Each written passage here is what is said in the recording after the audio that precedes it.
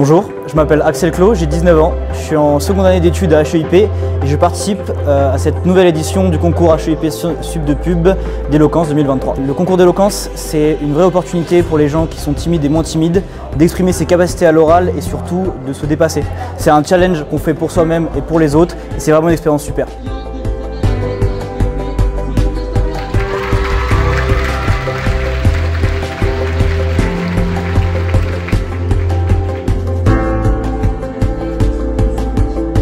Faire valoir la parole, la prise de parole. On travaille avec des intervenants qui sont formés et ça va être de travailler surtout en sciences politiques du coup puisqu'on est à HEIP pour euh, travailler ensuite euh, dans les secteurs politiques et de communication. C'est un espace pour euh, transmettre ses idées, un espace pour prendre le pouvoir en fait. parler avec les mots, choisir les bons mots, choisir des figures de style, travailler sa structure, son argumentation, sa façon de s'exprimer. C'est comme ça qu'on fait passer des idées, c'est comme ça qu'on fait évoluer les choses, c'est comme ça qu'on peut changer le monde en fait, vraiment sans, exagérer.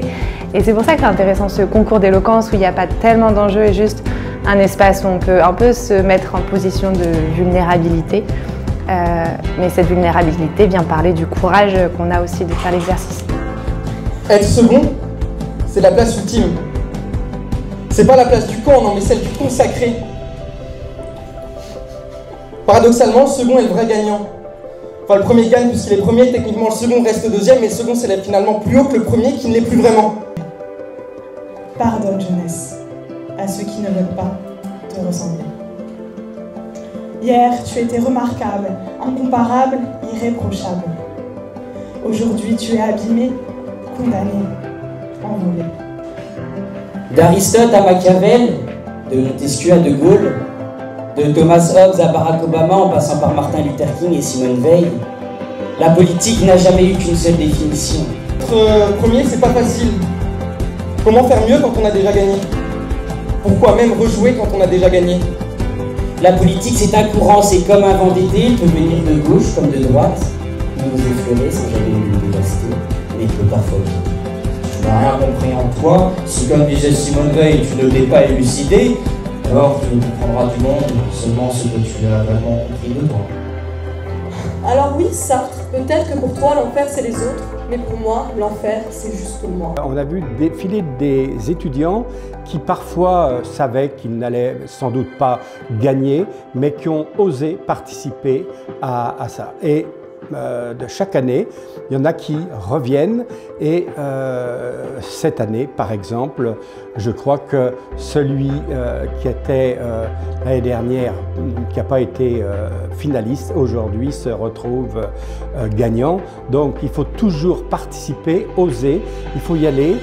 Il faut ne pas, faut pas se dire oh, c'est trop dur. Il faut le faire pour soi. Il faut que ça soit un jeu.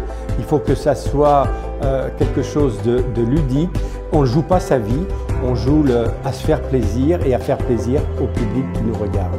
Alors, pour l'année prochaine, allez-y.